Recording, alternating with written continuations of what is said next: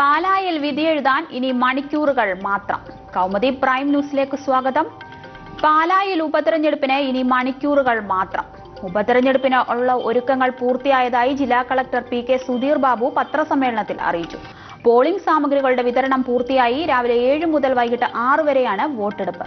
നൂറ്റി എഴുപത്തി ആറ് പോളിംഗ് ബൂത്തുകളിലായി ഒരു ലക്ഷത്തി എഴുപത്തി ഒമ്പതിനായിരത്തി ഒരുന്നൂറ്റി ഏഴ് വോട്ടർമാർ നാളെ പോളിംഗ് ബൂത്തിലേക്ക്. ത്രികോണ മത്സരം നടക്കുന്ന പാലായിൽ മൊത്തം പതിമൂന്ന് സ്ഥാനാർത്ഥികളാണ് ഉള്ളത്. തെരഞ്ഞെടുപ്പിനായി നിയോഗിച്ച ഉദ്യോഗസ്ഥർക്ക് പാലാ കാർമൽ സ്കൂളിൽ നിന്ന് പോളിംഗ് സാമഗ്രികൾ വിതരണം ചെയ്യും. അത്യാധുനിക സംവിധാനമുള്ള എം ത്രീ വോട്ടിംഗ് മെഷീനാണ് തെരഞ്ഞെടുപ്പിന് ഉപയോഗിക്കുന്നത്. വോട്ടിംഗ് മെഷീനുകളുടെയും വി വി പാറ്റുകളുടെയും ആദ്യഘട്ട പരിശോധന പൂർത്തിയായതായി പൂർത്തിയായി. സുരക്ഷ എഴുന്നൂറ് കേന്ദ്ര സേനാംഗങ്ങളെ പാലയിൽ വിന്യസിച്ചു. അഞ്ച് പ്രശ്ന സാധ്യതാ ബൂത്തുകളിലും പ്രത്യേക നിരീക്ഷകരെ നിയോഗിച്ചു. ഇവിടുത്തെ മുഴുവൻ നടപടിക്രമങ്ങളും വീഡിയോയിൽ പകർത്തു. മണ്ഡലത്തിൽ അഞ്ച് മാതൃകാ ബൂത്തുകളും ഒരു വനിതാ നിയന്ത്രിത ബൂത്തും ക്രമീകരിച്ചിട്ടുണ്ട്. നാട്ടിലില്ലാത്ത വോട്ടർമാരുടെ വിവരങ്ങൾ പ്രത്യേകം രേഖപ്പെടുത്തി. ഇതുവഴി കള്ളവോട്ട് തടയാനാകുമെന്നാണ് കമ്മീഷന്റെ പ്രതീക്ഷ. ബി ജെ പി സാധ്യതാ പട്ടിക തയ്യാറാക്കി. അഞ്ച് മണ്ഡലങ്ങളിലേക്ക് നടക്കുന്ന ഉപതെരഞ്ഞെടുപ്പിലേക്കുള്ള ബി ജെ പി സ്ഥാനാർത്ഥികളുടെ സാധ്യതാ പട്ടിക കൊച്ചിയിൽ ചേർന്ന B J P core committee യോഗത്തിൽ തയ്യാറാക്കി. മൂന്ന് ദിവസങ്ങൾക്കുള്ളിൽ സ്ഥാനാർത്ഥികളെ സംബന്ധിച്ചുള്ള വിവരങ്ങൾ പുറത്തുവിടുമെന്ന് എം ടി രമേശ് പറഞ്ഞു.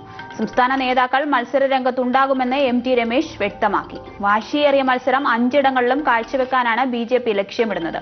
ബി ജെ പിയുടെ സ്ഥാനാർത്ഥി സാധ്യതാ പട്ടികയിൽ കുമ്മനത്തെയും ഉൾപ്പെടുത്തി. മത്സരിക്കാനില്ലെന്ന കുമ്മനത്തിന്റെ തീരുമാനം പാർട്ടി തള്ളി. ആരൊക്കെ മത്സരിക്കുമെന്ന് കേന്ദ്ര കമ്മിറ്റി പ്രഖ്യാപിക്കും. കോന്നിയിൽ കെ സുരേന്ദ്രന്റെയും ശോഭ സുരേന്ദ്രന്റെയും പേരും പട്ടികയിൽ ഉണ്ട്. മഞ്ചേശ്വരത്ത് അഡ്വക്കേറ്റ് കെ ശ്രീകാന്ത് രവീശ തന്ത്രി പി കെ കൃഷ്ണദാസ് എന്നിവർ സാധ്യതാ പട്ടികയിൽ.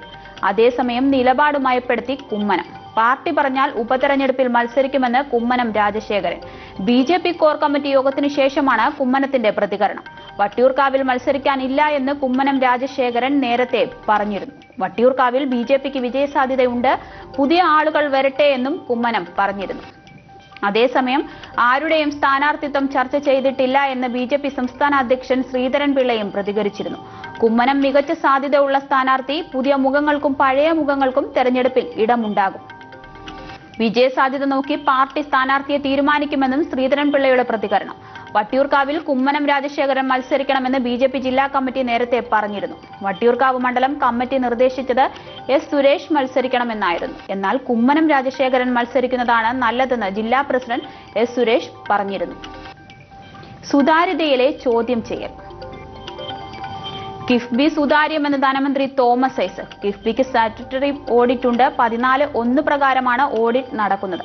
ഇന്റേണൽ ഓഡിറ്റ് ഇന്റർനാഷണൽ സ്റ്റാൻഡേർഡ് ഉള്ള സ്ഥാപനമാണിത്. തോമസ് ഐസക്കിന്റെ പ്രതികരണം. പ്രതിപക്ഷ നേതാവ് രമേശ് ചെന്നിത്തലയുടെ ചോദ്യങ്ങൾക്ക് മറുപടിയായി. പ്രതിപക്ഷ നേതാവിന് എന്ത് വിശദീകരണം വേണമെങ്കിലും നൽകാം. കിഫ്ബി സിഇഒ കാര്യങ്ങൾ നേരിൽ കണ്ട് വിശദീകരിക്കും. തൃപ്തികരമല്ല എങ്കിൽ മന്ത്രി എന്ന നിലയിൽ താൻ വിശദീകരിക്കുമെന്നും Isaac K C B transcript അഴിമതി സംബന്ധിച്ച് മുഖ്യമന്ത്രിയോട് പത്ത് ചോദ്യങ്ങൾ പ്രതിപക്ഷ നേതാവ് രമേശ് ചെന്നിത്തല ഉന്നയിച്ചിരുന്നു. കെ സി ബി കിഫ്ബി കരാർ രേഖകൾ ലഭ്യമാക്കുമോ എന്ന് ചെന്നിത്തല പദ്ധതിയുടെ എസ്റ്റിമേറ്റ് നിരക്ക് നിശ്ചയിച്ച കെ സി ബി രീതിയോട് യോജിപ്പുണ്ടോ എന്നും നടപടികൾ ഒരു ഉദ്യോഗസ്ഥനെ മാത്രം ഏൽപ്പിച്ചത് പരിശോധിക്കുമോ എന്നും ചോദ്യമുണ്ടായിരുന്നു. ടെൻഡറിൽ ചില കമ്പനികൾക്ക് ഇളവ് നൽകിയത് പരിശോധിക്കാമോ തുടങ്ങിയ പത്ത് ചോദ്യങ്ങളാണ് മുഖ്യമന്ത്രിയോട് പ്രതിപക്ഷ നേതാവ് ചോദിച്ചത്. കിഫ്ബി വഴി വൈദ്യുത ബോർഡ് നടപ്പാക്കുന്ന ട്രാൻസ്ക്രിപ്റ്റ് പദ്ധതിയുടെ നിർമ്മാണ കരാറുകൾ വൻകിട കമ്പനികൾക്ക് നൽകിയതുമായി ബന്ധപ്പെട്ട് ഉയർന്നുവന്ന അഴിമതിയും ക്രമക്കേടുകളും സംബന്ധിച്ച് എന്റെ പത്ത് ചോദ്യങ്ങൾക്ക് മുഖ്യമന്ത്രി പിണറായി വിജയൻ ഉത്തരം നൽകണമെന്ന് പറഞ്ഞായിരുന്നു പ്രതിപക്ഷ നേതാവിന്റെ കത്ത്. വീണ്ടും മഴയ്ക്കുള്ള മുന്നറിയിപ്പ്. സംസ്ഥാനത്ത് വരുന്ന ചൊവ്വാഴ്ച മുതൽ ഒറ്റപ്പെട്ട കനത്ത മഴയ്ക്ക് സാധ്യതയുള്ളതിനാൽ പത്തനംതിട്ട ആലപ്പുഴ ഇടുക്കി മലപ്പുറം ജില്ലകളിൽ കാലാവസ്ഥാ നിരീക്ഷണ കേന്ദ്രം യെല്ലോ അലർട്ട് പ്രഖ്യാപിച്ചു. ബുധനാഴ്ച എട്ട് ജില്ലകളും വ്യാഴാഴ്ച ഒൻപത് ജില്ലകളിലും യെല്ലോ അലർട്ട് പ്രഖ്യാപിച്ചിട്ടുണ്ട്. ആന്ധ്ര തീരത്ത് ന്യൂനമർദ്ദം രൂപപ്പെടാനുള്ള സാധ്യത കണക്കിലെടുത്താണ് യെല്ലോ അലർട്ട് പ്രഖ്യാപിച്ചിരിക്കുന്നത്. മത്സ്യബന്ധനത്തിന് പോകരുതെന്ന മുന്നറിയിപ്പ് നൽകിയിട്ടുണ്ട്. നേരത്തെ ഗുജറാത്ത് തീരത്ത് രൂപം കൊണ്ട ന്യൂനമർദ്ദം കേരളത്തിൽ കനത്ത മഴയ്ക്ക് കാരണമാകുമെന്ന് കാലാവസ്ഥാ വകുപ്പ് പ്രവചിച്ചിരുന്നു. കൗമുദി പ്രൈം ന്യൂസ് സമാപിക്കുന്നു. ഒരു മണിക്കൂറിന് ശേഷം പ്രധാന വാർത്തകളുമായി സ്നേഹ ചേരും. നമസ്കാരം.